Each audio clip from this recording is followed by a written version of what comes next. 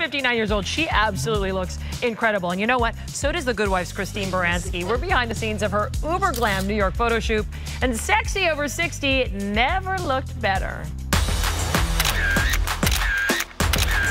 I loved being flanked by two handsome male models who were kind of staring at me as I whisked into the uh, lounge in my bouncy, flirty dress. The Good Wife's Christine Baranski showing off her first class fashion for a photo shoot in the British Airways Concorde Room at JFK.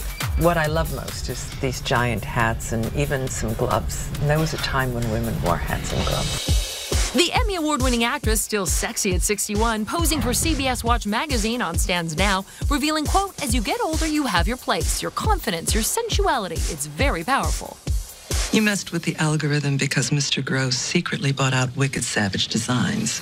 Even her character, attorney Diane Lockhart, would be impressed. Well, on The Good Wife, of course, I'm a professional woman and a lot of suits and dresses. This fashion shoot happens to be so wonderfully whimsical and, and witty. She is ridiculously chic. I heart her. And you can see more of Christine when the new season of The Good Wife debuts September 29th on CBS.